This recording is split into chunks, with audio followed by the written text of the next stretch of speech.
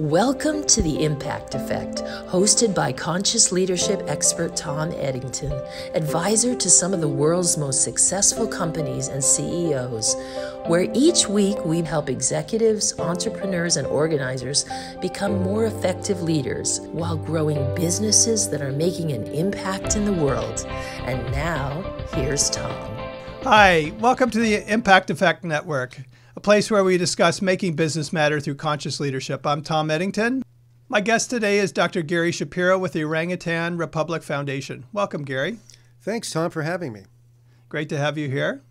I think it'll be helpful for our listeners to just hear a bit about your story, your background, your research, and uh, how it is you came to be one of the world's experts in uh, the orangutans. Well, it didn't start out that way. Actually, when I was in high school, I wanted to be Jacques Cousteau. And when I was 16, I got certified as a scuba diver. And so it's now been well over 50 years since I've been starting my dive career. And um, went to Sierra College outside of Sacramento in Rocklin, California. And it was there that I really found this, this kind of passion for um, interfacing and, and interacting with the natural world. I mean, when you get on get a scuba diving um, up, you know suit on and you're in the water, you are surrounded by nature, and um, it's it's an experience that helped me to really grasp what it meant to be in the real natural world.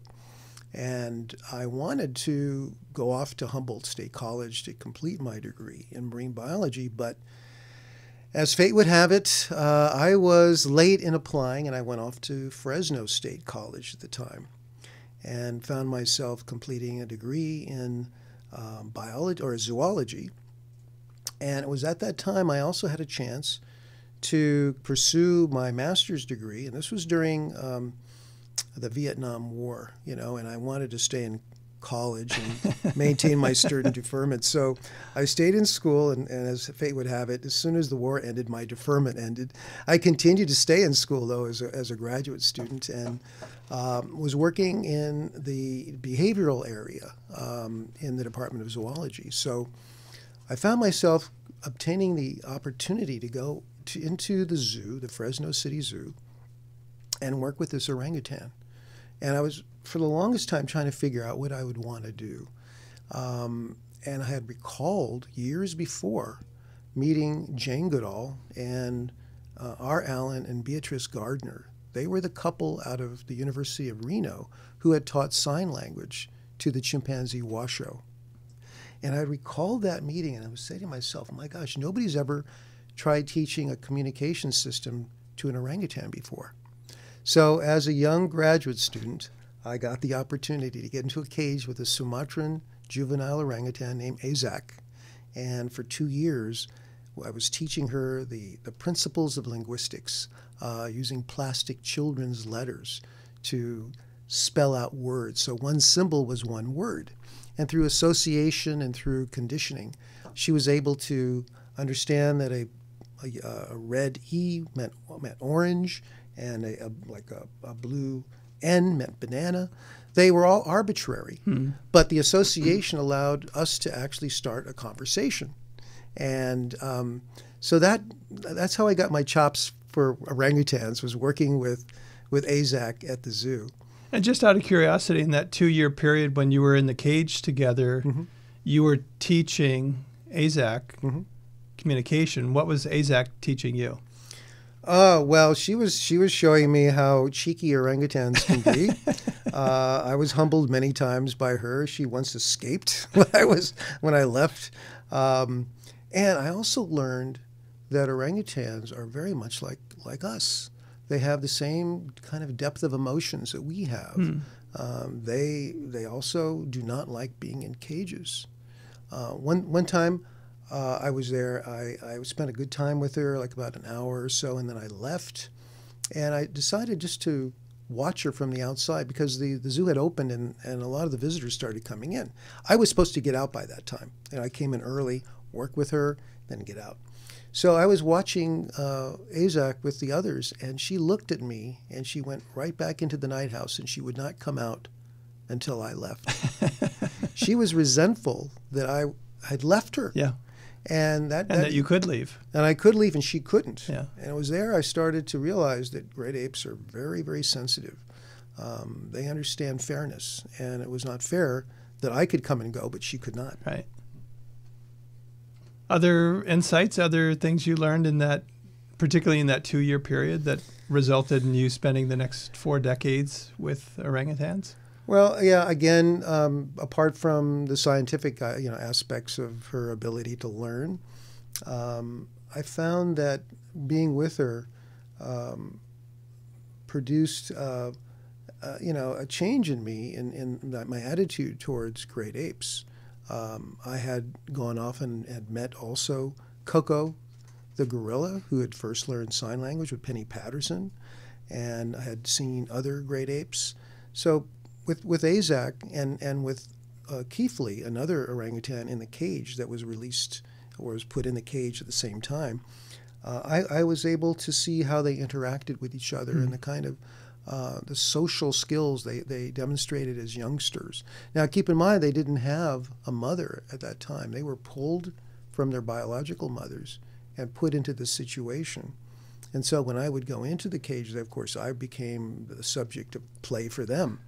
And it was interesting how, how often they would rather play with me than sit down and be good students. Maybe not that surprising, right?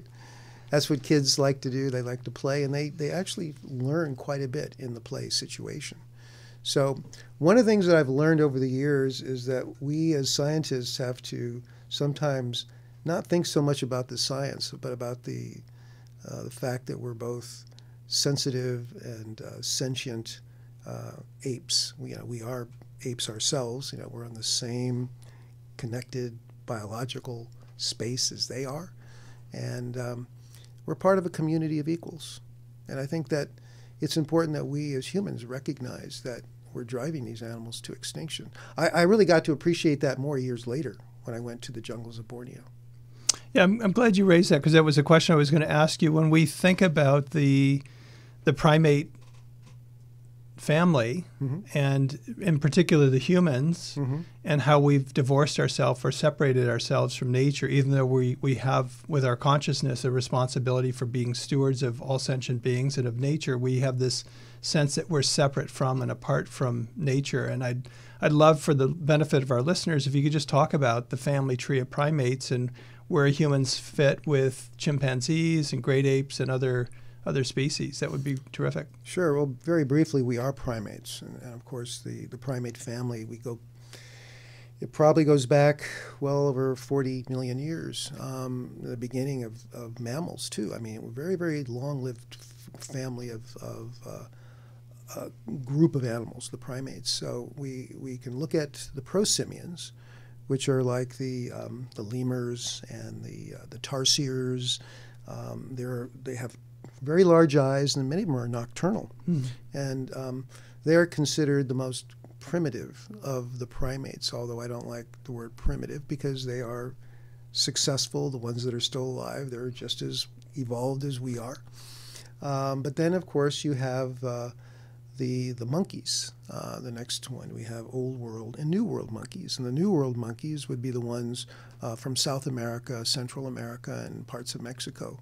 So those would be the uh, spider monkeys, howler monkeys, the ones that have prehensile tails, so they can actually use their tail as a second hand, as a, as a third hand, to grab onto branches and whatnot. The old world monkeys, which are the um, the group from Africa that spread through Southeast Asia, and are uh, represented by, say, African monkeys like baboons, and um, you know they have. Uh, the colobus monkeys, and there's literally dozens and dozens of these old world monkeys in Africa. And um, we have also the rhesus macaques, the macaques, you've heard of them. They're used in, in research quite a bit.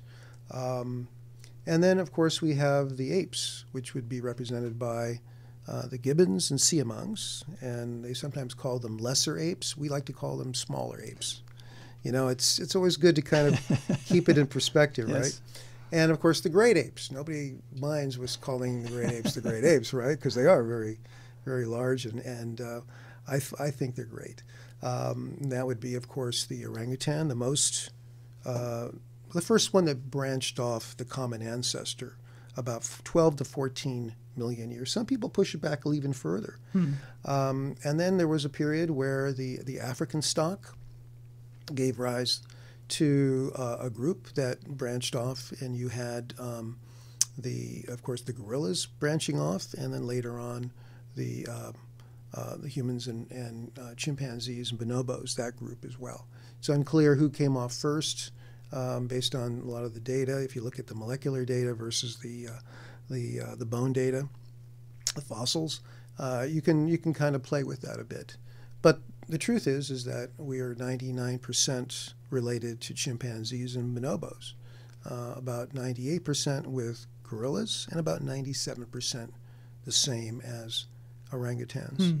And the thing people have to realize is that it's we share more in common than we do different. And I think, and this is one of the reasons why uh, we are sibling species. We're all in the same, you know, brotherhood and sisterhood of the apes. Thanks for sharing that. It's it's helpful background, particularly in the context of our, our conversation today. Sure. And I want to make sure the audience understood where where we fit mm-hmm. in the the tree of life, and, and particularly in the in the primate uh, family. Mm-hmm.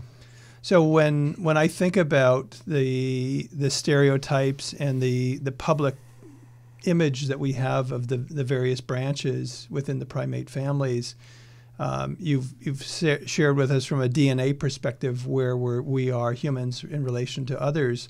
But when I think about the characteristics of each of the, the species in terms of the, the, the various spectrums of violence and nonviolence, um, you've shared with me before that the orangutans are, are a, a nonviolent species. And when I think about conscious leadership and what it means to be human, we have this story. Mm-hmm. And some of it's a misinterpretation of Darwin's work that we're a violent species. And mm-hmm. the reality is, we as human beings are a nonviolent species akin to the orangutan. I'd love to get your perspective on that. Well, I'm not sure I completely agree with you on that, Tom. And it's not because uh, I would, you know, it's not that I wouldn't want us to be that way. But in many ways, um, we, we share parts of what orangutans possess that uh, perhaps are part of our best nature. Hmm. Uh, and yet, the genes uh, tell the true story about our relationship. We're more like chimpanzees in many ways. And as we maybe consciously evolve, we we start to relate more to the orangutan. Maybe that's what you're trying to say, but I mean, uh, orangutans. Um, there, there has been, of course, um, conflict, mm-hmm. violence amongst at least the males, male-male competition. And if that wasn't so, you wouldn't find that the males were twice the size of the females. I mean, that is a dead giveaway. Any of the species you see where the males are twice the size, there's tremendous male male competition for access to the females. And so we see that with, with gorillas, even though they're gentle giants. They don't normally do this, but in their past, there must have been some tremendous pressure. Mm-hmm. And, and clearly, the females think the bigger men and, or the males are sexier. And so there's there's female choice that helps to drive this as well. So it's not just the male males fighting; it's the females making the selection looking for the sexiest you know males available.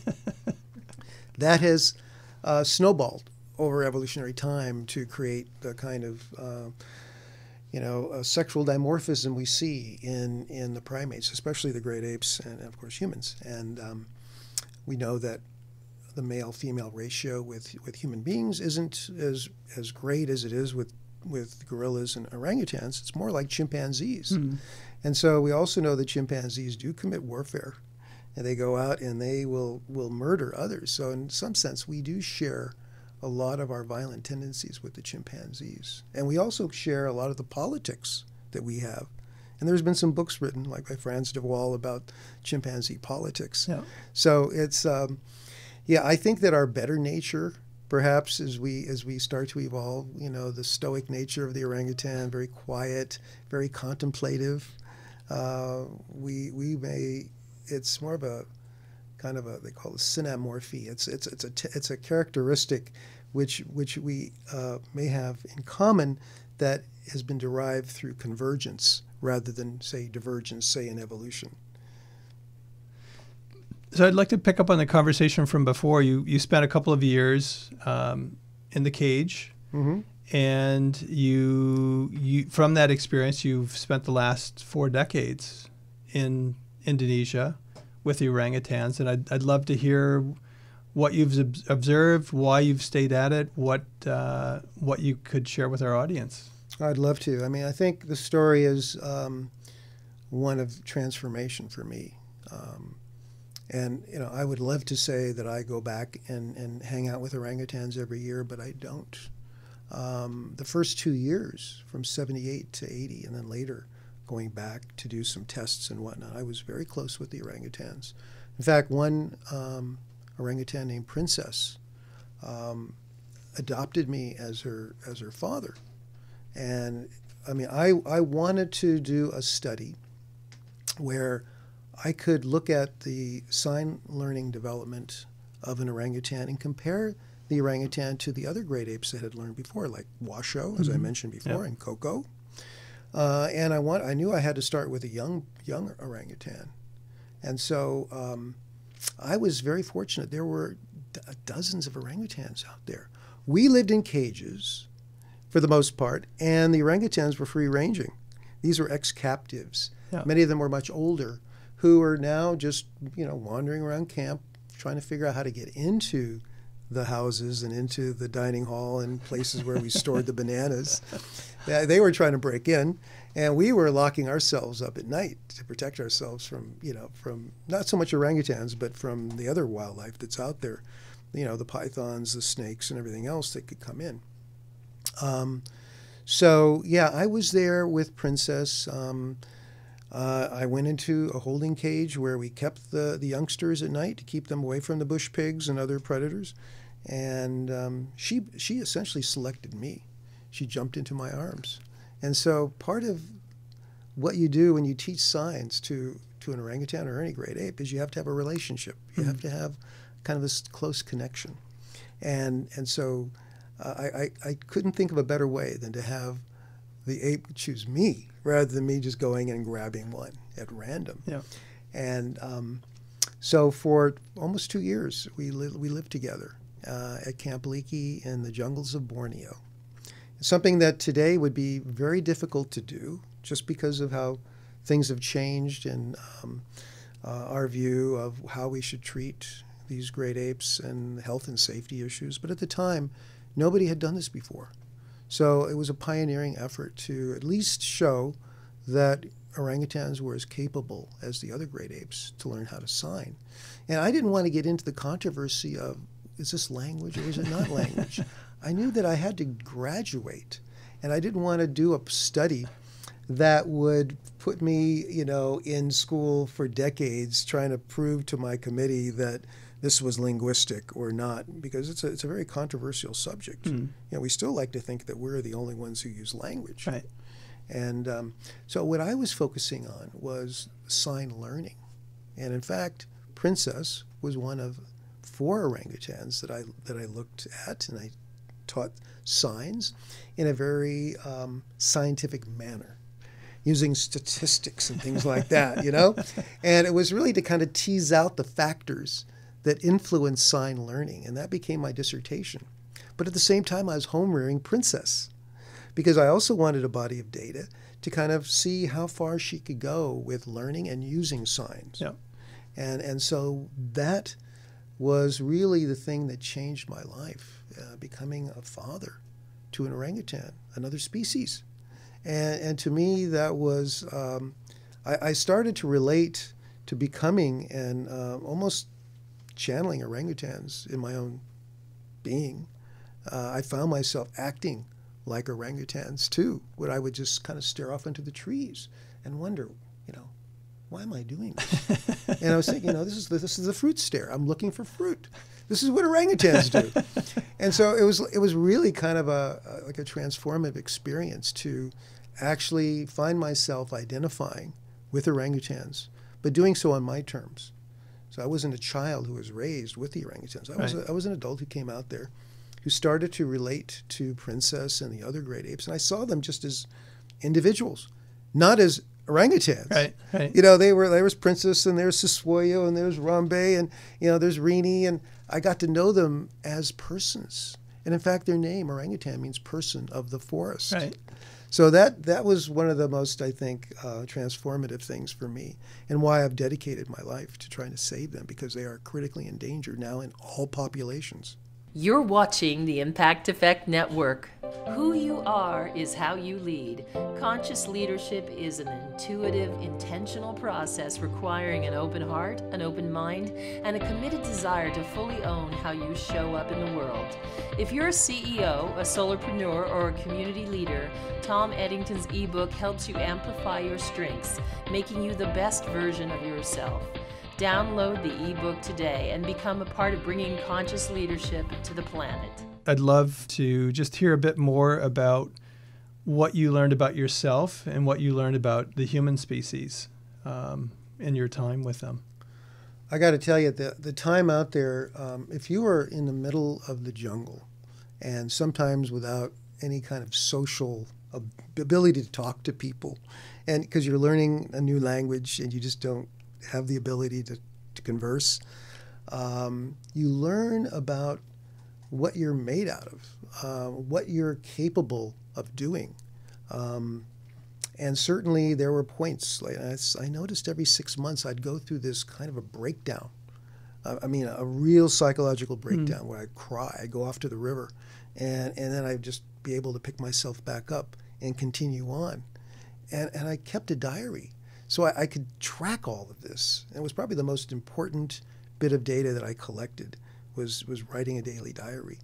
And I haven't done that since, but I mean, those two years was priceless, and now I'm using it to actually help with, with the books I'm writing mm. uh, about my experience out there because we, we have a tendency to forget those little things that happen during the day. Or right? at least misremember. Or misremember.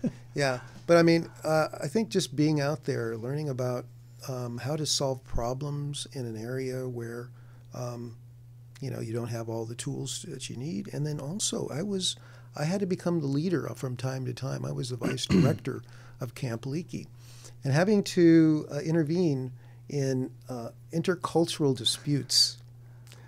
That was really something. That, that really put my, uh, you know, my skills to the test, my interpersonal skills, and um, thankfully I made it through that. I kept my head because I was living. I was actually working with the the Dayak people, the indigenous people of Borneo, who have a, a very they're a very very special people. Very, I mean, the first world people of, of, of Borneo, and um, just as in, in, the West here, we use guns to, you know, solve problems, and it's part of our history. They use the headhunting knife to solve problems, and you know, there were times where. Uh, not so much the Dayaks, but um, some of the others who I had to deal with were were not happy with me. So I had to understand that. What was the dynamic behind it, and how could I kind of lower hmm. the energy to make sure we were able to get through uh, a, you know a challenge. So it was it was a it was a, an amazing time. I mean, having to go out and shop every couple of weeks, go to town and do that. I'd have to leave Princess behind. I'd come back and she was sometimes moody with me, you know. And um, you know, I found that learning Indonesian was actually much faster because of the signing I was doing with the the orangutans it might have tapped into something that allowed me to learn much faster because mm. I became fluent within six months and found the experience much more enjoyable, especially when I went to town and had to do things, uh, interact with the local people. Right, right. Yeah, it's. Uh, I, I highly recommend leaving the comfort zone of where you grew up and go to a place that is so different and uh, figure out who you really are.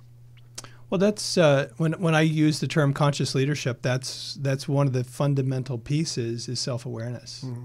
Um, to being a conscious leader, it's knowing who you are and and how you're being in the world and how people are experiencing you.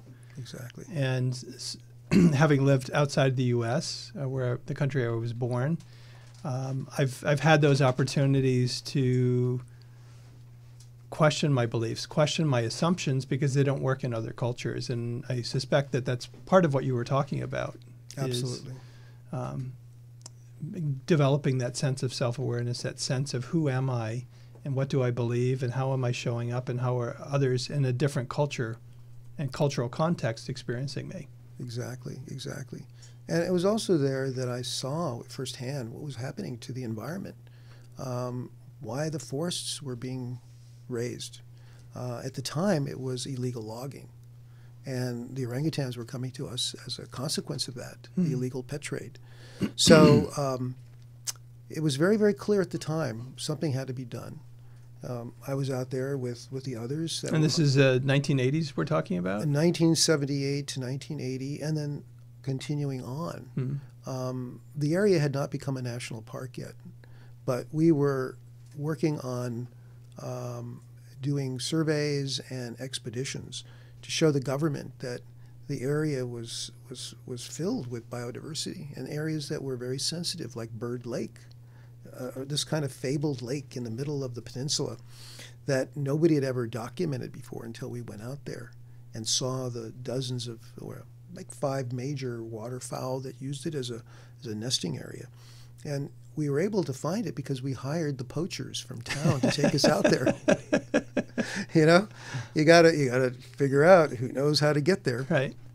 But in doing that, we were able to, um, and with reports from WWF and others who were out there at the time. Eventually, uh, the government uh, declared it a national park, mm. giving it a higher status. Right. So the the area, despite having the status, was still under threat.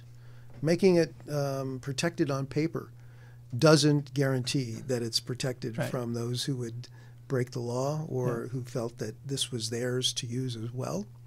And frequently, um, government has a tendency to not do the socialization properly with the local people. This is something that I also learned and which I've applied to my own foundation in um, being as effective as we are in places like Sumatra, where we're working to help save the Sumatran orangutan um, by working with local people. Hmm. So, one of the things that I realized at the time was that we needed to create an organization that would address the orangutan. There was no group at the time. So in, in 1985, uh, we started the Orangutan Foundation International, and I was the vice president with the woman who people know uh, as the Jane Goodall of orangutans.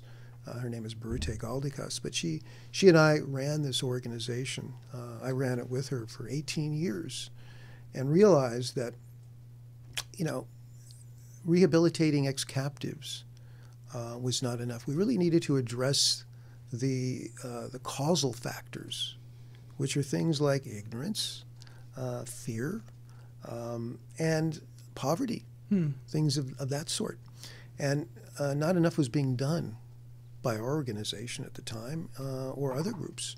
So my wife, my Indonesian wife, and I, uh, we co-founded the Orang Utan Republik Foundation in 2004. Uh, actually, it started out as the Orangutan Republic Education Initiative. It was a project under a, an umbrella 501c3 because we wanted to hit the ground running.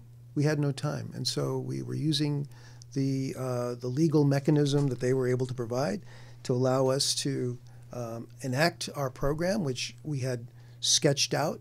And to my amazement, all this unfolded within a couple of years as I had planned.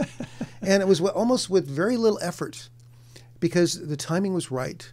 And I got the, I was able to enroll uh, members of government of Indonesia to serve as our kind of focal point. And for a number of years, the office of our organization in Jakarta was the penthouse of the Parliament building in Jakarta.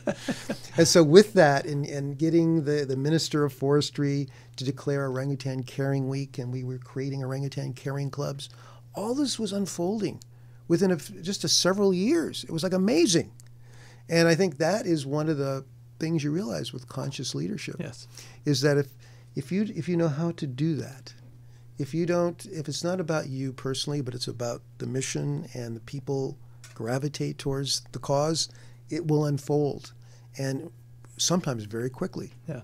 So we were able to start a project in, in Sumatra, and we created the orangutan caring clubs, and one of them has now become a foundation, a full-fledged foundation in Sumatra, and we've been supporting them as they work uh, along the border of the Gunung Leuser National Park, where there has been problems with human-wildlife conflict.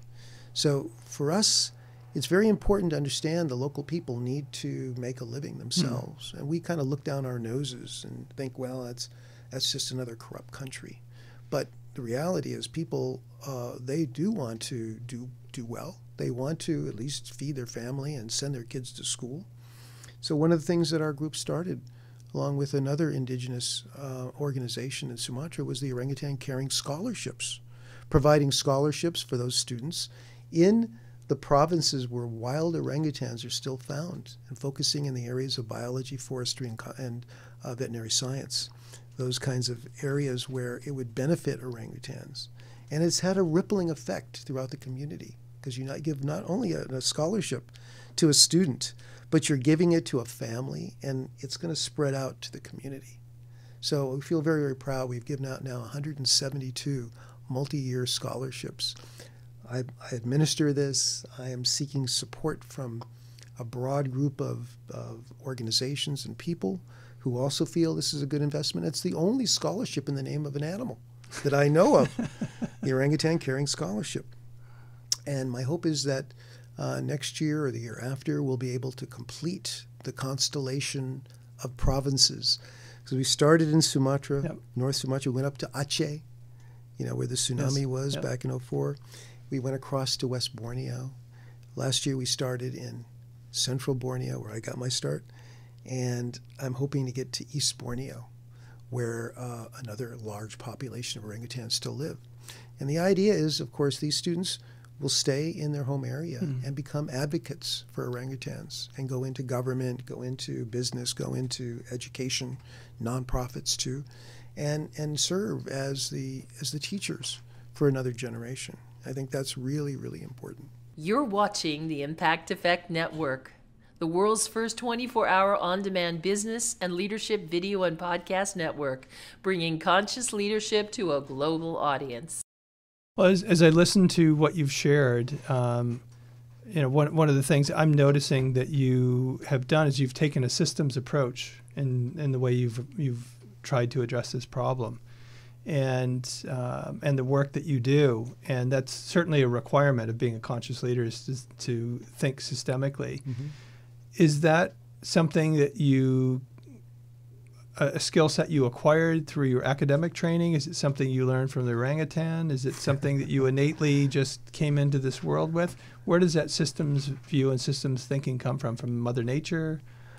Well, it's it's a great question, and I think I was blessed to have been able to have done this now over these years, over this this forty year period almost, uh, because um, I had a twenty seven year career in state government, and I was involved in uh, doing um, uh, hazardous waste cleanup and uh, uh, drug lab cleanup, the Breaking Bad thing, you know, right. many many years ago, and um, became very involved because I worked for the emergency response depart- uh, division.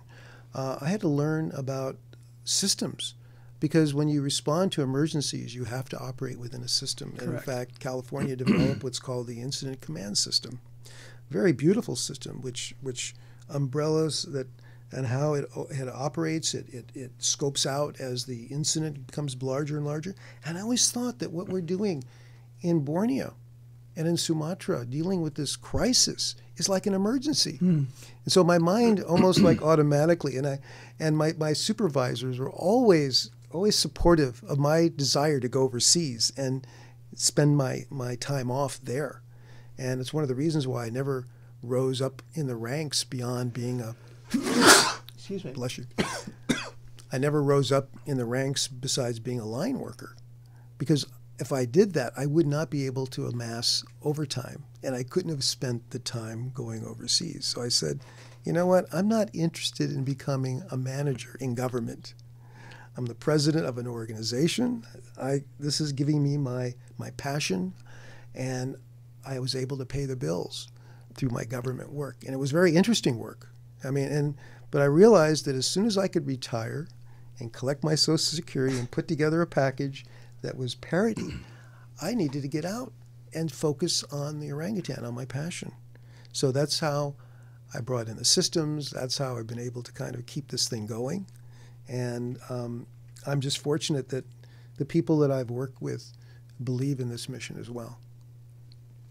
So how did how did you walk that path of needing to be a leader in the organization you and your wife founded while being in a managerial role in your day job? Yeah, well, I did the uh, the foundation work after hours and mm-hmm. on weekends, so I didn't have to um, have the conflict.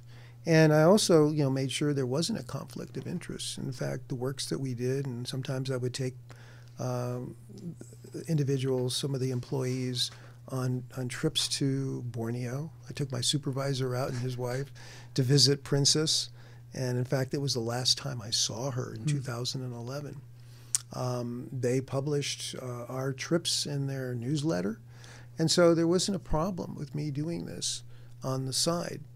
Um, and you know, it's I think it's really important. Um, people would come to me, and they said, "Gee, I'd like to do this. I've got a passion too," and I would try to show them ways that they could take their passion, even though they are working in state government, and maybe do what I did and work under an umbrella for a while until you built your your your capacity to spin off as your own nonprofit. Right. I want to drill into this a bit more because the the competencies that someone needs to be an effective manager and the competencies one needs to be an effective leader are different. Yes, they are. And so, how did you build those competencies to be an effective leader of your organization? And where, where did that come from? Was it trial and error? Was it through reading? Was it through um, experience, learning from others, mentors? How, how, did you, how did you make that transition?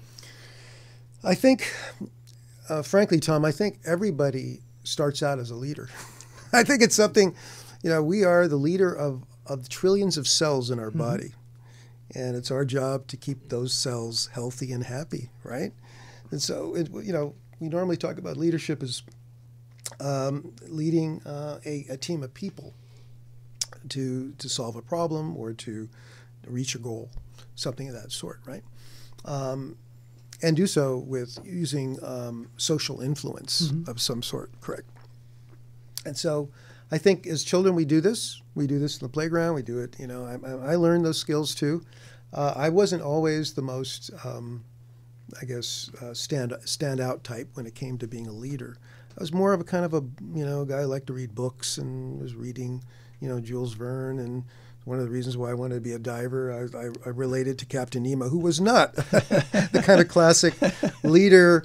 You know, he's more like the anti-leader or the anti-hero, right? right. But but you know, he was also a disruptor hmm. and something. You know, the kind of people we kind of look up to today. Somebody wants to get into a new area and change it dramatically. Yes.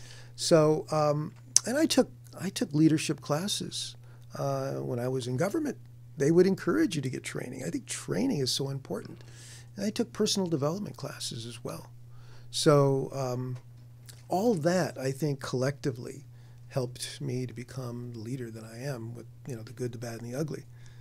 Well, thank you for sharing that because I, I, I, agree with you that each of us innately have those skills we come into the world with, and increasingly the the complexity of the systems problems that we have in our yeah. in our c- culture in our world today, everyone's being called to be a leader, and so I just was curious to understand how you developed those skill sets, given your quote unquote day job wasn't enabling you to necessarily build those skills in your in your daily work. I always felt when I went to work that I was the leader of myself, and I was responsible to get the job done, yes. you know, whatever. And I always felt uh, proud to serve the people of California. And you know, I noticed people around me sometimes that weren't necessarily stellar employees, but it's up to them yeah. to find their own route. I wouldn't want to criticize anybody. You know, I can only control myself. Right. And so that to me, I, and I, you know, I looked forward to coming to work, even though I realized that it wasn't my primary passion you know, I enjoyed the, the diversity of work. Mm-hmm. Drug labs can be very interesting, and you know, I had to learn how to get into the moon suit. I had to learn learn how to make methamphetamine. you know, as part of what we had to identify in the field when we did cleanups. Right. All of this was, you know, as a chemist type, I enjoyed the kind of mental rigor it gave me, but um, and I was leading the, the group there as well, as far as uh, managing our contractors. I had to do oversight and all of that. So I always saw myself, even though I wasn't a leader, I was a line guy. I saw myself as a leader Yes. doing what I was doing, and and maybe it was just wishful thinking on my part. Maybe it's, but I think that um, we all have to realize that we can create um, the happiness we have. We can create the attitudes we have that we carry through this world, and we don't have to wait for permission from somebody else. Well, those those are uh, essential pieces, and, and certainly in the work I do in the teaching and the, the writing and the speaking that I do around conscious leadership is that we are absolutely leaders of ourselves. And when I think about the three stage model of, of managing one's career, the first stage is what do you know? Mm-hmm. And it's all about na- knowledge acquisition. The second stage is what do you do, meaning what results do you achieve? And the, and the third stage is around how are you being? How are others experiencing you? We're human beings, not human doings. So, how do you be? How do you show up in the world? And someone who's an effective leader, particularly a conscious leader, is keenly aware of how am I being? How are others experiencing me? Yes. And that's the first lesson of leadership is taking full responsibility and accountability for how I'm being in the world. I have to tell you that it's, it's, it's been a challenge to me uh, over the years to to balance uh, the professional side and the relationship side, which I think most everybody can identify with. When you really want to be the top in your field, something is going to give. If you and if you don't address that in the right way, it's like rebalancing your portfolio, right? You've got to put some time and energy into the relationships that are the most important, really. Apart from yourself, which is number one, you got Mhm. to take care of your health. You know, it's like put your mask on before you help somebody else in the airplane. Well, you got to make sure that you're in good shape, you're healthy. But then I realized that it's the relationships that are the second most important thing, and I didn't do that for many, many years, and almost lost my wife on a couple of occasions. But finally, when you realize and you you know you put your ego in the right perspective, and you recognize that you have to make adjustments, and you make those adjustments, and you can find that that kind of balance that allows you to you know hopefully do your passion without sacrificing your relationships. That's been like one of the biggest things I've I've learned and it's one that um, I tell volunteers this too because working with volunteers, Tom, is like so important. It's always kept me felt energized. I feel much younger than my age would, would perhaps suggest, but um, I tell them, I said, look, you're giving your free time to help out in this cause, and I'm I'm so happy you're doing that. But don't give so much that you sacrifice the relationships in your life, Yep. Because sometimes people go into it full bore and they don't realize that their there's their, their other person in the family, their their significant other, may be hurting and just hasn't addressed it, and it can lead to a point where a breakup could take place. And so I, I, I advise them, you know, thank you for your time. Let's figure out what you can do that's not going to overtax your relationships and things like that. So yeah, I'm I'm painfully aware of it from personal experience. I don't want to uh, ask anybody to help out that that can't afford the time. You're watching the Impact Effect Network. Is your team tuned out? Are you looking for a powerful speaker to motivate and inspire your organization? Then Tom Eddington is the choice for keynote speaker at your next conference or event. Tom is one of the most sought after business advisors and coaches in Silicon Valley. For over two decades, Tom has advised world renowned CEOs and executives on how to catapult their organization's success, including Hewlett Packard, MBNA Corporation, and Royal Dutch Shell. In his dynamic keynotes, Tom offers fresh new paradigms on how to create healthier, happier, and more purposeful workplaces while navigating change and generating higher degrees of success for organizations. For information on booking Tom at your next event, contact eddingtonadvisory.com. So, with working with volunteers, something I encourage the, the clients I work with to recognize is that anybody who's working for them is a volunteer. And they should have that same mentality, that same mindset that while they're getting a paycheck, first and foremost, you need to think of them as a volunteer, that they can volunteer someplace else. Yeah. Yeah. And so to have that same attitude, that same mindset of you're coming to work here, but you could volunteer anywhere. That's true. That's true. Yeah, I think that um, the value that you, you get in volunteers can't be overstated. And, and showing them your appreciation is one of the most important things as a leader can do because it's too easy for a, a volunteer to feel unappreciated for Right. what they do. Yeah. So it's something that I've learned as well. And, you know, we try to acknowledge the volunteers, um, provide them with, you know, uh, not just a pat on the back, but, you know, give them something special. And, um, you know, it's, it's part of just nurturing and developing an organization, I think. Yeah. And, and with volunteers, they're showing up because they're passionate or they're showing up because they want to acquire some new skills. And employees are showing up for the same reason. Yes, they, there's a paycheck involved as well, but they're there because hopefully they're, you've created an environment where they're passionate. Hopefully they're showing up because they're looking to acquire new skills and to grow and learn and be engaged. That's what you hope. Yes. And I know that um, when we started the Orangutan Caring Club in, in Sumatra, they were all volunteers. They were coming together just to meet and to create programs. And I was so inspired because they were doing things that I never thought about doing, like going to the mosques and speaking to the imams and having them deliver the sermon about environment and orangutans on Friday night. I was going, wow, what a great idea, you know? And, and they were meeting and they were helping uh, new couples plant trees as a tree planting uh, operation to, you know, integrate that into the culture. I thought that was brilliant Yeah. right? And then eventually I was able to uh, find the funds to give them um, a paycheck, or an they call it an incentive Yeah. because it's not that much, but it allows them now to focus their time full time on the work.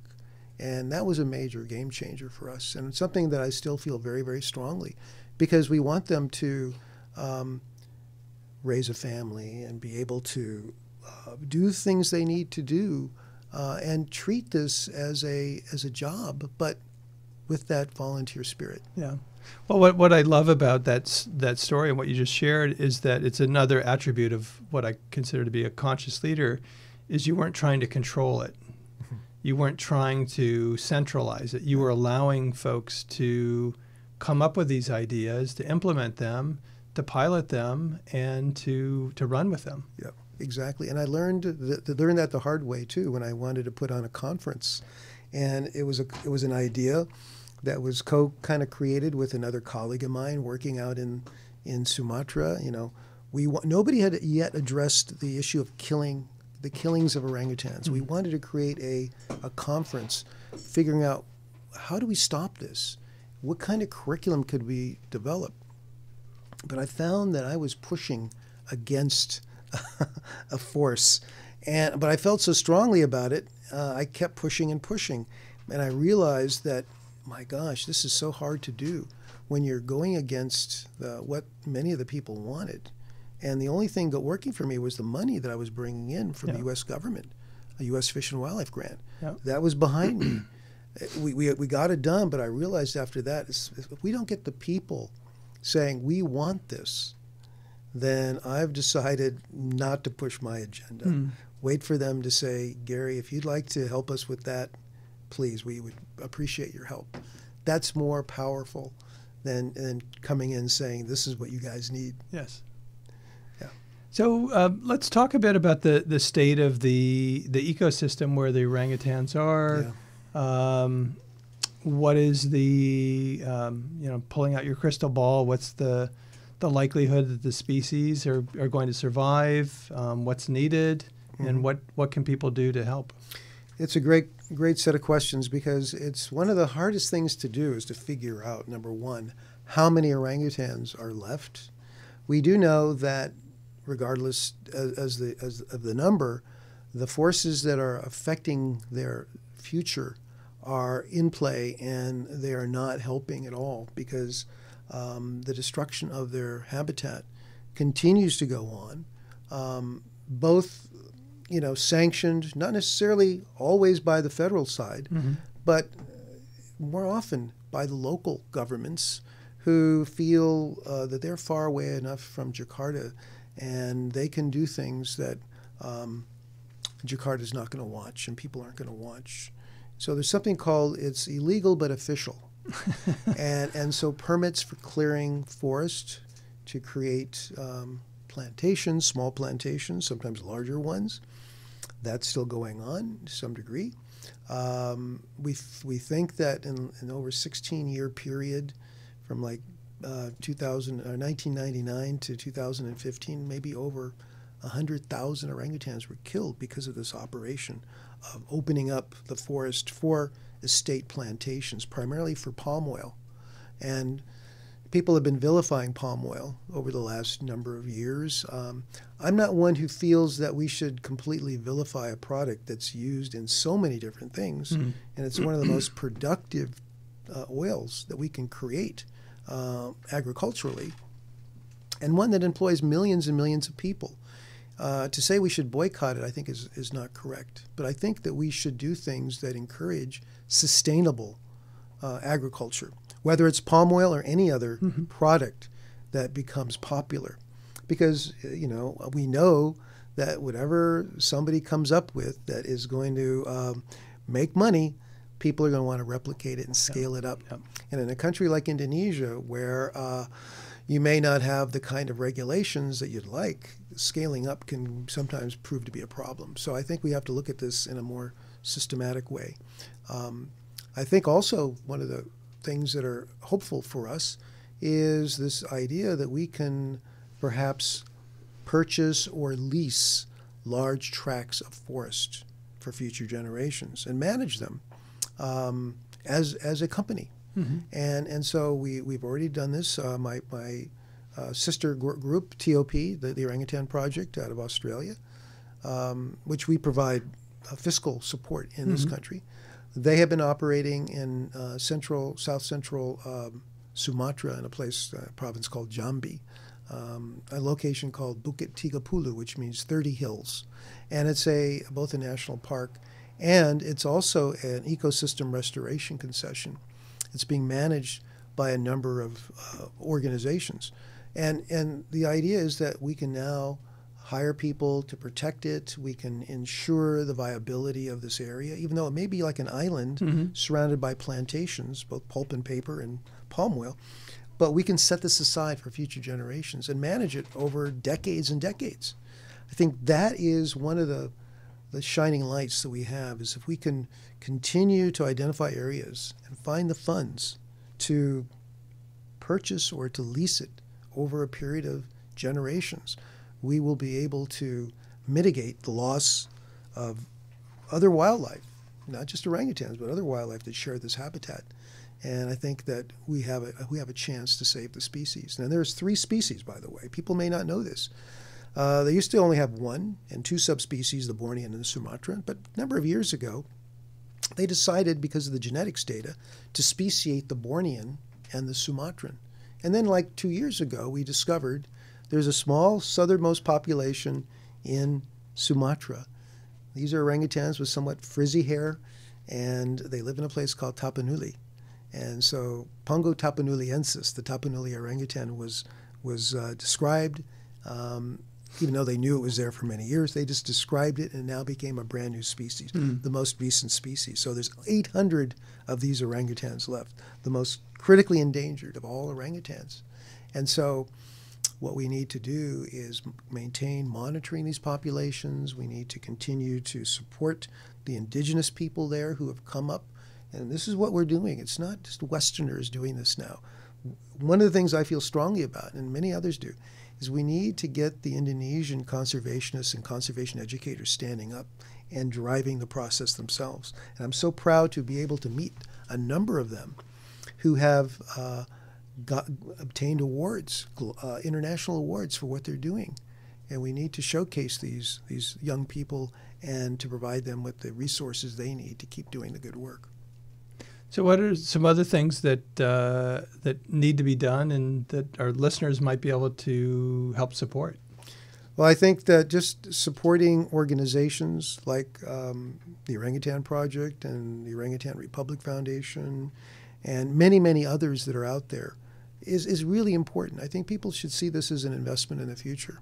Um, keeping in mind that it's not just orangutans we're protecting; it's the it's the lungs of the earth. Hmm.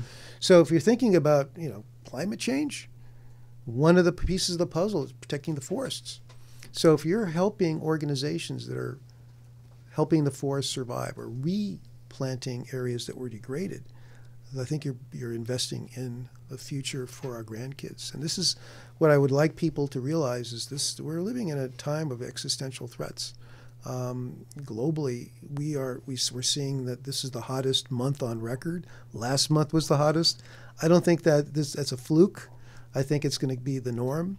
And you know, at some point, we're going to be hitting these tipping points. Uh, and one of the ways we can mitigate that is to protect the forests.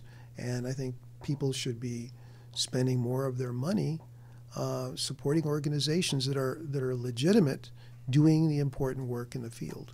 That's I think the hard thing. The second thing they can do is they can shop smart. So when you're buying products, look at the label, see if it says sustainable palm oil on it. And if it doesn't, if this is a favorite product of yours, ask the manufacturer, is this from a RSPO, the Roundtable on Sustainable Palm Oil, or some other certifying body that will tell you this is sustainable? If they can't answer, go for something else. You have a lot of power with the way you purchase products. What I'm really happy to see is that California has passed leg- or is moving legislation through. It's now in the Senate uh, that will require California government to purchase deforestation-free uh, commodities in the supply chain Hmm. of California, and we're a big, big um, buyer. Yes. So if we can get that passed, this will also set an example for those businesses that have been reluctant to go into sustainable, you know, into that process of, of certifying sustainable and to go there. And I'm, I'm, I think that what I, I, I envision in the future is that orangutans, if we keep at this pace, we will save uh, a number of the, po- the critical populations. I know we're going to lose some that are very small. They're what we call metapopulations. These are small populations that are isolated. Genetically, they don't have connection because they're little islands. And if you have a, a metapopulation of a couple hundred, 300, the, there is a tendency for natural phenomena to cause the population to rise and fall, rise and fall, and possibly crash. Hunting, fires, things like that could Right. actually drive those small populations to extinction. I suspect we're going to lose some of those.